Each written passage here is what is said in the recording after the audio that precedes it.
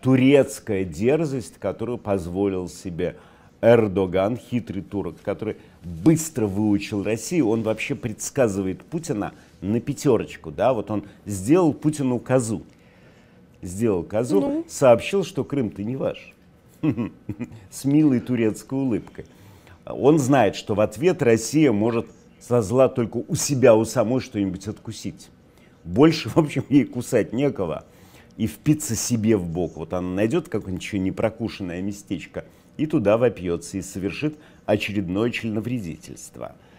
И, э, потому что мы знаем, да, что когда ее ставят в угол, она принимает санкции в основном против самой себя. И у Эрдогана... Это называется бомбить Воронеж, Александр Да, у Эрдогана это великолепно получилось, понаблюдать, как Россия выдирает у себя из бока очередной кусок мяса. Вот Эрдоган, у нас вот он позволил себе такой э, выход и тут же получил страшный удар по щам, прервали авиасообщение, объявили турецкие курорты жутко заразными. Это была страшная месть, адекватный ответ. А, при том, что в России царствует абсолютный, абсолютный, вот стопроцентный коронавирусный пофигизм, он на высшей точке. Правда, вот Нью-Йорк Таймс взял и так бестактно поворошил кладбище России.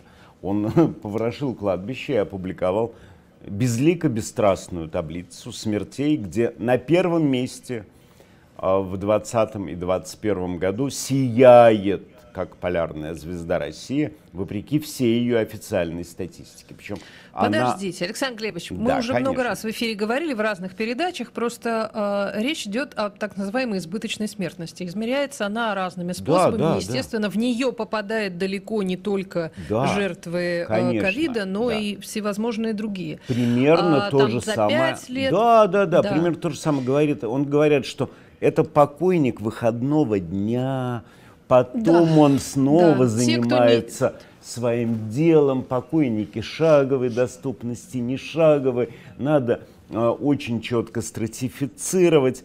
А, мы знаем, да, то есть определить... В любом случае, у нас избыточная смертность э, значительно, в три раза превышает смертность от ковида, правильно? Да, совершенно верно. А, и не разобраться, кто именно заразнее, вот этот конкурс, кто заразнее, Турция или Россия, там, я думаю, будет один-один уверенная. Но, тем не менее, 530 тысяч человек, которые поверили власти и потратили все свои годовые накопления на путевочку в Турции и билеты, они все сгорели к чертям. Вот это полмиллиона э, граждан Российской Федерации ответили за слова Эрдогана. И, конечно, никакой компенсации им не будет. Может быть, будет, но через суд. Да? Как функционирует суд в этих вопросах, мы знаем. А, и вообще э, Ростуризм сообщил, что он готов поменять любую путевку в Турцию на любую путевку Челябинск или в Уфу. Да, вот правда нашелся... Ну ладно, ладно.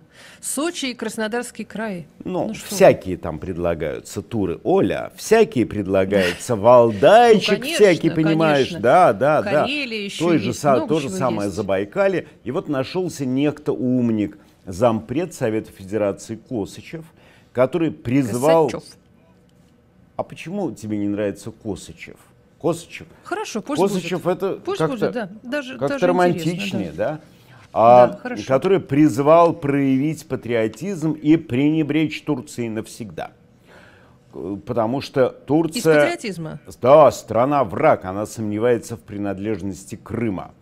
И морально... Подождите, Александр Глебович, а, да. Вот э, у нас же была история, значит, э, сбивали летчика и расстреливали его. Да, да, уже был такой. Правильно? Да, да, да. А у нас э, посла, посла тоже в Турции застрелили, правильно? Да, и посла застрелили в Турции. Там вообще много происходило увлекательных событий. И все как-то помидорами обошлось, да, да. недолго? И mm-hmm. вот в данном случае призывают тоже на все плюнуть и все бросить и наполнять, значит, местное отдыхальческие бараки советской родины. Косачеву не, не, не стали к нему прислушиваться, потому что вообще лучше не это пытаться. Это комитет международным делам, мне кажется, да. Э, это его работа такая. Он зампред Совет Федерации.